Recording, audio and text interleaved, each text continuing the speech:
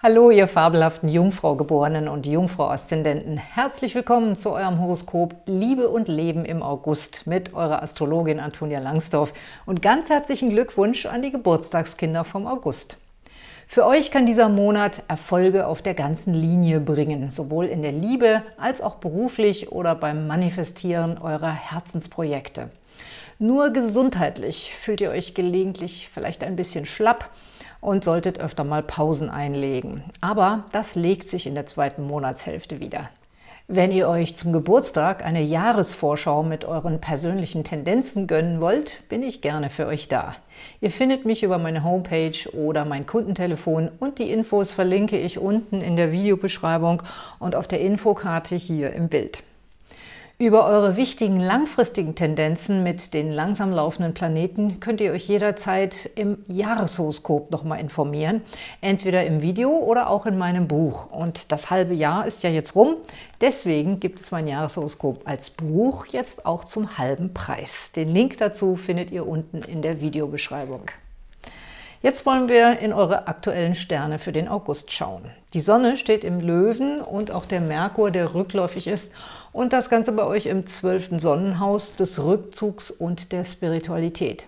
Wahrscheinlich braucht ihr jetzt öfter mal Zeit für euch und ihr solltet auf jeden Fall genug schlafen.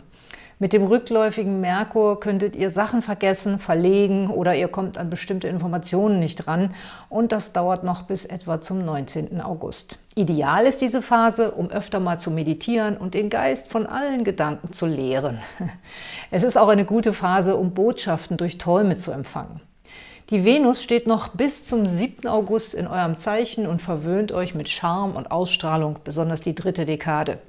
Die zweite Dekade empfängt den Romantikaspekt zwischen Jupiter und Neptun und letzterer steht ja bei euch im Partnerhaus und stimmt euch sehr romantisch. Ihr müsst nur bitte aufpassen, wenn ihr jemand Neues kennenlernt, es kann sich herausstellen, dass die Person schon anderweitig gebunden ist oder sonst ein Geheimnis hat, was einer Beziehung im Weg stehen würde. Also lasst es langsam angehen, aber das Potenzial für eine große Romanze ist gegeben.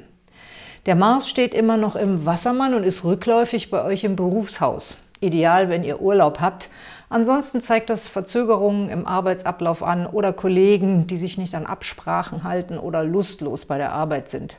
Lasst euch davon nicht ärgern, denn ihr habt jetzt die nächsten zwei Monate einen fantastischen Manifestationsaspekt mit Uranus und Saturn die beide günstig für euch stehen und ihr werdet so oder so vorankommen. Euch kann nichts aufhalten. Dieser Aspekt wirkt direkt auf eure Sonne, wenn ihr in den ersten Tagen des Jungfrauzeichens Geburtstag habt, aber natürlich können auch andere Positionen in eurem Horoskop diesen Aspekt empfangen. Das müsste man dann mal in einer Beratung klären. Ein Wermutstropfen ist dabei eine Spannung zwischen Saturn und heiler Planet Chiron, die den August und September über andauert. Es kann passieren, dass ihr euch um ein gesundheitliches oder seelisches Problem bei eurem festen Partner kümmern müsst, was den Freiraum für eure Herzensprojekte einschränkt. Und wenn ihr heilerisch tätig seid und mit alternativen Methoden arbeitet, kann es zu Schwierigkeiten mit Behörden, Krankenkassen oder der Gesetzgebung kommen. Am 6. August geht dann die Lilith ins Zeichen Wassermann und damit in euer sechstes Haus. Da geht es um eure Arbeitsabläufe und auch um eure Gesundheit. In den kommenden neun Monaten wünscht ihr euch im Job und auch im Alltag mehr Freiraum. Und insofern kann euch Lilith dabei helfen, eure persönlichen Projekte zu manifestieren, weil ihr euch nicht mehr so leicht anderweitig einspannen lasst. Alles über diesen wichtigen Transit und wie er sich für euer Sternzeichen auswirkt, erfahrt ihr in meinem neuen Special Kreativ, wild und frei Lilith im Wassermann. Schaut euch das bitte dazu an.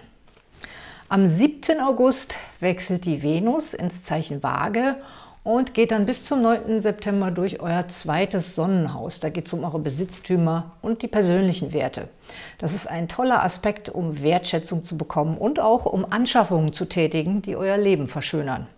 Kritisch sind die Tage vom 7. bis zum 11. Da kann es darum gehen, dass euer Partner nicht mitzieht oder dass euch durch eine Krankheit des Partners Gesundheitskosten entstehen und ihr deshalb Abstriche für eure persönlichen finanziellen Wünsche machen müsst. Am 11. August haben wir dann den Neumond im Zeichen Löwe in eurem 12. Haus der Spiritualität. Das ist ideal für alle Jungfrau-Geborenen, die sich mit spiritueller und magischer Arbeit beschäftigen. Da der Neumond auf einen Samstag fällt, könnt ihr euch ein schönes Ritual mit Meditation gönnen und eure Wünsche ans Universum absenden. Danach kommt ihr mehr und mehr in einen wunderbaren Flow, ob nun in kreativer Hinsicht oder beruflich oder auch zusammen mit einem tollen Partner. Am 13. geht der Mars zurück ins Zeichen Steinbock und bildet dann für den Rest des Monats einen günstigen Aspekt zu eurer Sonne, ist dabei aber noch rückläufig. Deswegen macht ganz in Ruhe und bleibt entspannt, die Zeit arbeitet für euch. Am 19. wird der Merkur wieder direktläufig, was ihr sicher spüren werdet, weil eure Gedanken jetzt wieder klarer sind und fehlende Informationen wieder auftauchen. Auch Verträge könnt ihr danach wieder unterschreiben.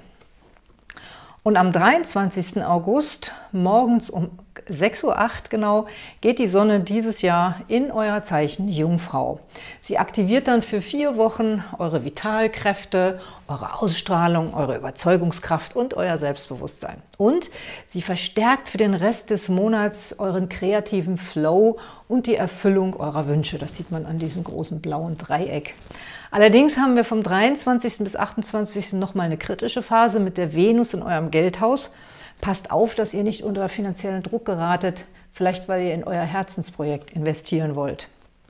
Am 26. August ist dann der Vollmond in den Zeichen Jungfrau und Fische, also bei euch auf der Beziehungsachse.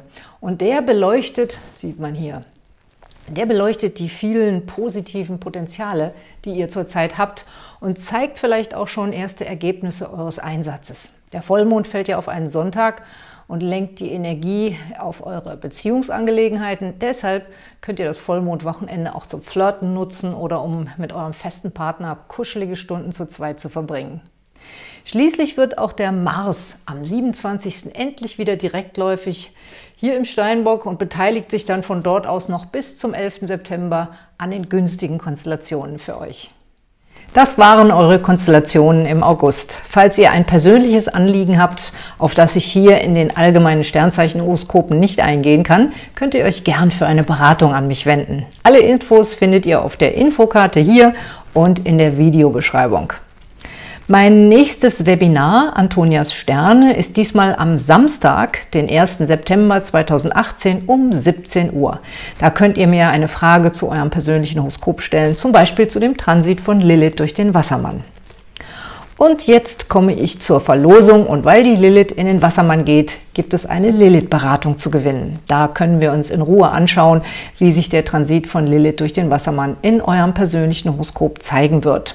Und so nehmt ihr an der Verlosung teil, postet mir hier einen netten Kommentar und abonniert meinen Kanal. Und ich freue mich auch riesig, wenn ihr meine Videos teilt, sodass sich auch eure Freunde über die Botschaft der Sterne informieren können.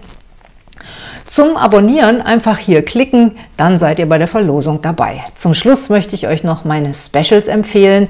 Natürlich das Neue über Lilith im Wassermann, aber auch über Uranus im Stier, Chiron im Widder und Saturn im Steinbock. Ich wünsche euch alles Gute mit den Sternen.